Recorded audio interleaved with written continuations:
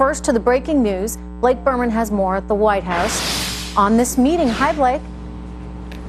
Hi there, Trish. I'm told this meeting between the president, the FBI director Chris Wray, and the deputy attorney general Rod Rosenstein will happen at 3 o'clock here at the White House. However, uh, it's not just going to be those three in the room. I'm also told that the director of national intelligence, Dan Coats, will be there. And when you're talking about a meeting of this magnitude, it's also likely that the chief of staff John Kelly and the White House counsel Don McGahn will be there as well. The White House is saying that this is a regularly scheduled meeting um, and does not specifically have to do with the tweet that the president sent over the weekend about demanding the Department of Justice look into whether or not the FBI had an informant inside his campaign. However, I am told the issue of getting documents to Congress will likely come up. As for the president's tweet over the weekend, whether or not it'll come up, can leave that for your imagination, I guess.